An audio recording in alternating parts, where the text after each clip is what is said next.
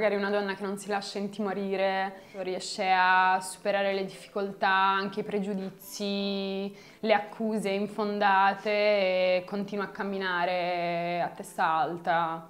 Una donna mh, giusta, una donna buona, cioè che possa concentrarsi sul dare alle nostre vite un valore che possa riscontrarsi anche su altre persone dei modelli femminili giusti da poter seguire, che fossero raggiungibili, sani, di quello che potremmo diventare, di quello che diventeremo nel futuro noi come donne, però chiaramente c'è anche quello dei modelli negativi, irraggiungibili, della donna ritratta solo ed esclusivamente per il proprio corpo e chi ha il corpo più bello vince un premio, chi ha il corpo più brutto no. Crescere nell'era dei social come giovani ragazze di sicuro non è un'esperienza facile confronto costante. È confronto costante con gli altri e di conseguenza la paura del fallimento, di risultare, ma cioè, sempre non abbastanza per i canoni della società, per i professori, per i genitori, per gli amici.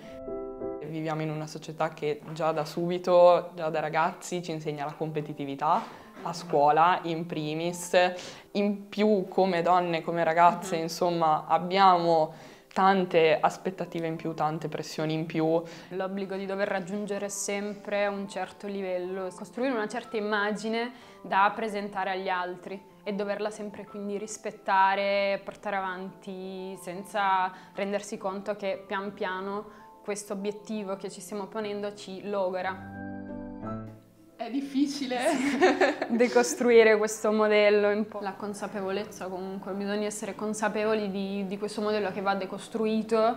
Poi c'è chiaramente tutto l'aspetto della collettività, cioè per rispondere all'individualismo verso cui questa società ci spinge in modo sfrenato è importante ricordarci che la nostra storia, prima di studenti, poi come di lavoratori, è profondamente legata con un sentimento di collettività, fare associazionismo, attivarsi, confrontarsi con i propri pari, eh, sviluppare una coscienza sia dei propri privilegi, sia propri, insomma, delle proprie discriminazioni alle quali si è soggetti in quanto donne, in quanto persone non bianche, in quanto insomma poveri.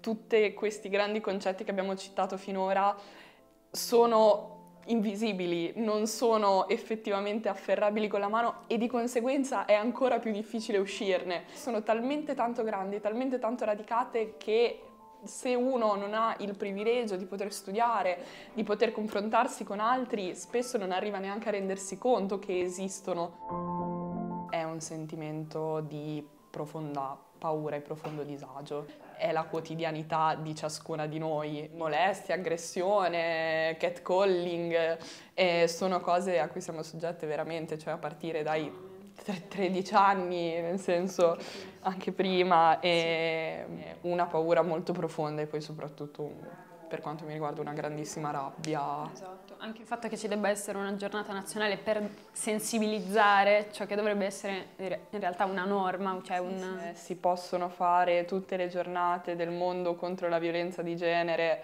eh, e illuminare i palazzi di viola, se però poi ai ragazzi, ai bambini a scuola non viene insegnato cosa vuol dire consenso, chiaramente le giornate rimangono lì. Io non ho un modello specifico di donna o di uomo, in realtà io ho un modello di persona.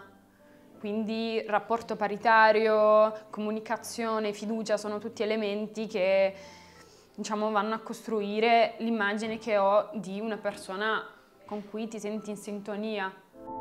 E che non sono cose che vengono da per sé o che trovi già confezionate, ma in primis il rapporto di parità, che sia effettivamente di parità, è una cosa che va costruito partendo insomma proprio da un rapporto sincero e da un rispetto a priori verso la persona o le persone con cui ti stai confrontando, però è assolutamente fattibile.